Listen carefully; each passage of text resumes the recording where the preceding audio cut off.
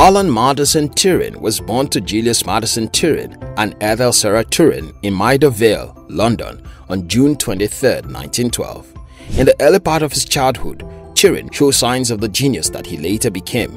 He attended the St. Michael's Day School at age 6 and went on to Hazelhurst Preparatory School in Sussex between 1922 and 1926, at what time he was 16 years old. He then attended the Sherborne Boarding School and his first day for school was the day of 1926 general strike in Britain.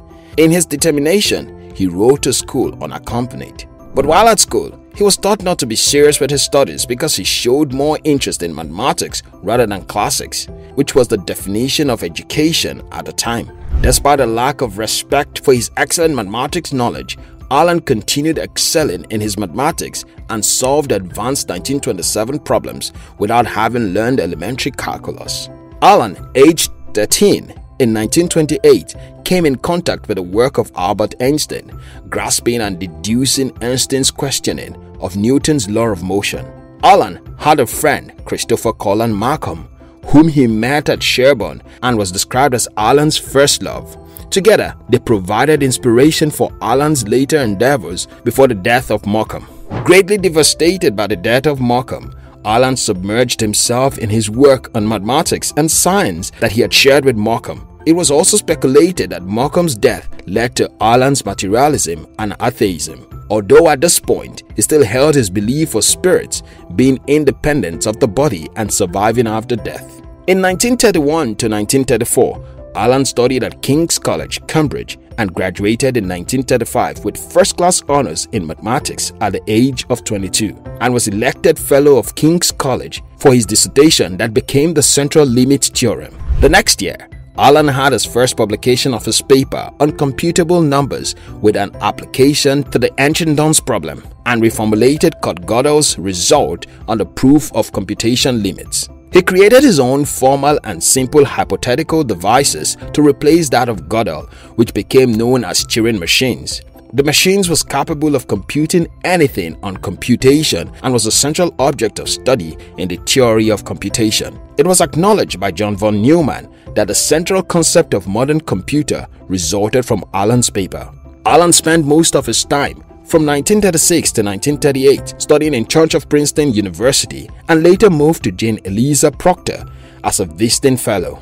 He also studied cryptology and built three electromechanical binary multipliers in mid-1938. Alan obtained a PhD in mathematics at Princeton. He also gave his dissertation, System of Logic Based on Ordinals, that introduced the idea of ordinal logic and the notion of relative computing. He returned to Cambridge and in 1939 attended lectures on the foundation of mathematics by Ludwig Wittgenstein. The two disagreed on certain mathematical subjects, with Alan defending formalism and Ludwig stating that mathematics does not discover the absoluteness of truth but invents them. Alan was a vital participant in the Second World War in the breaking of German ciphers at Bletchley Park. He worked part-time with the Government Code and Cipher School, breaking codes in 1938. Alan worked on the cryptanalysis of the Enigma cipher machine that was used by the German Nazis. While working at Bletchley, Alan earned himself the name Prof with a treatise of Enigma known as Professor's Book. Alan, who was also gifted at running and had the ability to run in world-class marathons, often ran the 40 miles to London for meetings. He also competed once for the 1948 British Olympic team and was only 11 minutes behind Thomas Richards, the British silver medalist, at the trials for the marathon, though he did not make the Olympics due to an injury. Alan was the best runner for Walton Athletics Club. When Alan arrived at Bletchley Park in 1941, within weeks he identified the bombe electromechanical machine that could break the enigma and frustrated Alan, his chief fellow cryptanalyst. They tried to decrypt Enigma's signals, but their staff was limited and the bombs prevented them from translating all the signals. In tackling the problem after attempts to get the Prime Minister Winston Churchill to solve it and receiving no help, Alan conceived the idea of Banburismus in 1939, a statistical technique that helped in breaking the German naval enigma. In 1942, Alan traveled to the United States and worked on the naval enigma on the construction of their bomb.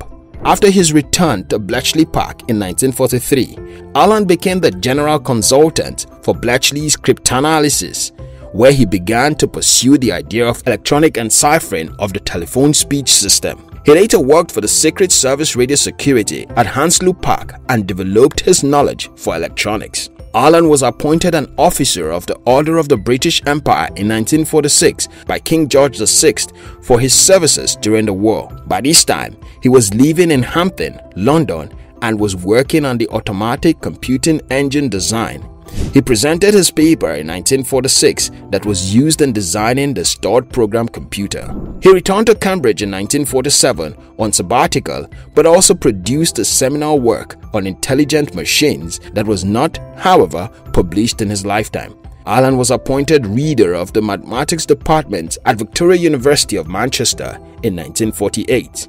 The next year, he was made the deputy director of the Computing Machine Laboratory at Manchester. His pilot, ACE, was built in his absence and executed in 1950, May 10. From this, several other computers around the world were built. In 1951, when Alan was 39, he turned his attention to mathematical biology and got his work, The Chemical Basis of Morphogenesis, published, which was considered his best work and masterpiece and remains relevant today as a seminal piece for mathematical biology.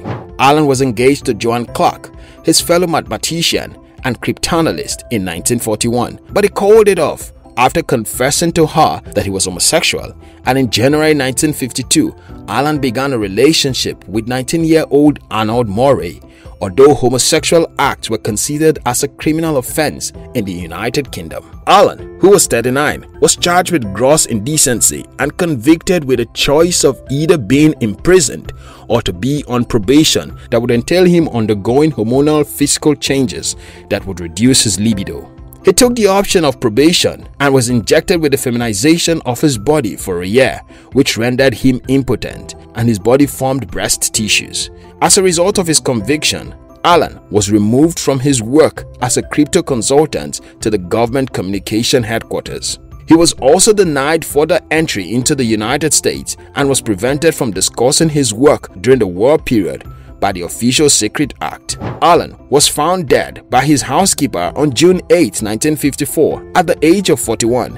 His death was ruled as suicide by cyanide poisoning. He was cremated and his ashes were scattered in the Woking Crematorium's gardens. The British programmer John Graham Cumming in 2009 began a petition for the British government to grant an apology for the execution of Alan as homosexual.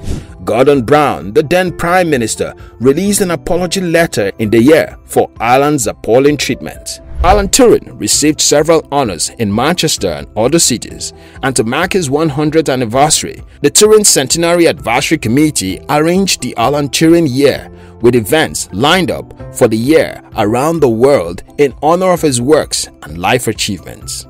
Thank you very much for watching our videos. We'll appreciate it if you subscribe to our channel and share this video with your friends. We love you.